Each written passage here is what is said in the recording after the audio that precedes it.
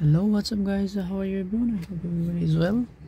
This is mercedes-benz A250 and today i will show you where is the key antenna location okay?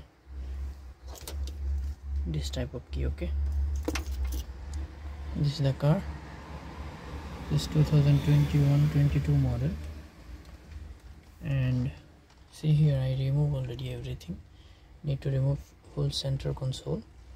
Okay see and then I remove for I have some more that's why. But if you need to only key antenna location you need to remove only these things. Remove full this assembly okay?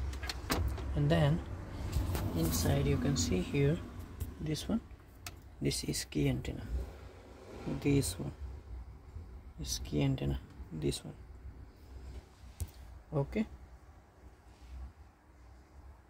thank you